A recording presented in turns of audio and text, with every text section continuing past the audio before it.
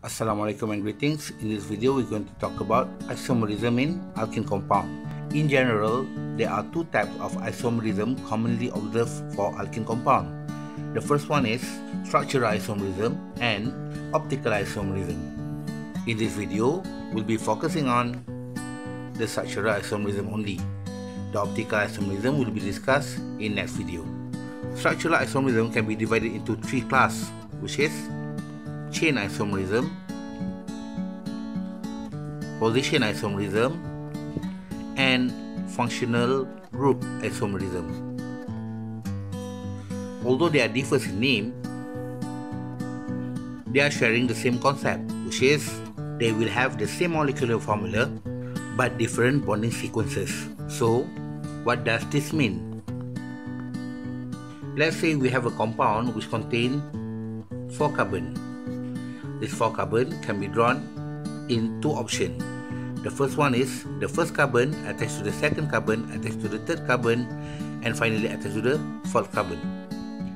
The other option, we can have the first carbon attached to the second carbon attached to the third carbon. However, the fourth carbon is attaching to the second carbon. As you can see here, in both of the structure, they have the same number of carbon However, the arrangement is different from one another. Let's take a look at an example.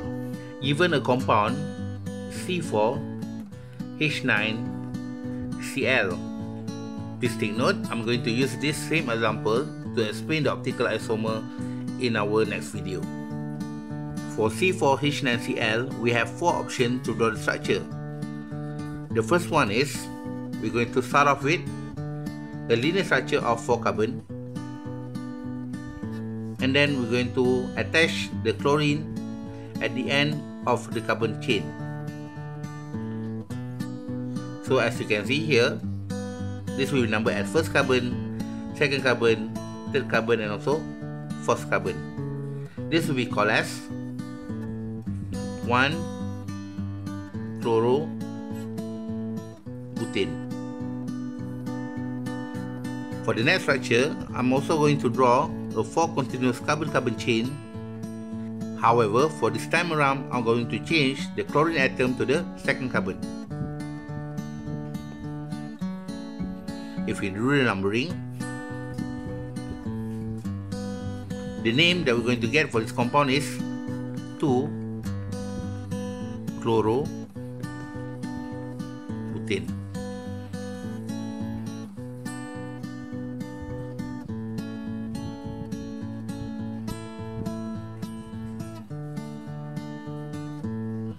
For the third structure, instead of 4, I'm going to draw a 3 carbon chain. The Cl will be positioned at the first carbon while another last carbon is attached to the second carbon. We're going to assign the numbers and the name will become 1 chloro 2 methyl butane. Okay, there's a mistake here. It's supposed to be propane not butane because the longest chain was 3. And finally, there will be 3 carbon chain. The methyl and the chlorine will be located at the same carbon which is carbon number 2.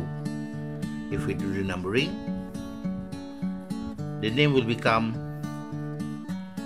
2 chloro 2 methyl butane.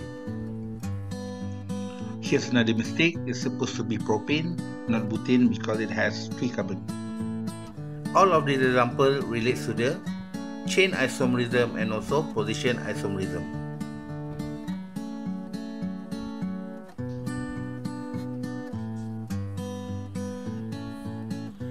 Let's say we draw a 4 carbon compound and then we add chlorine at the other end of the carbon chain. Is this considered as an isomer? The answer is no because if we do the numbering, the structure will become the first isomer that we have drawn before. Same goes if we draw a 4 carbon chain and then we position it at carbon number 3 this also will be the same just like 2 chlorobutane because the numbering will start from the closest to the substituent so this is also cannot consider as isomer These are the hints to draw a correct structure for the isomers of organic compound. First, draw a linear carbon-carbon chain for the first structure. For instance, if the compound contains 5 carbon, we might want to attempt to draw 5 carbon in the straight line first. And if there are any substituent, we're going to place them at the end of the carbon-carbon chain. Secondly, arrange the substituent at different carbon. For instance, if we have 5 carbon, instead of putting it at the terminal carbon, we try to put it in the middle. So it will be looking like this.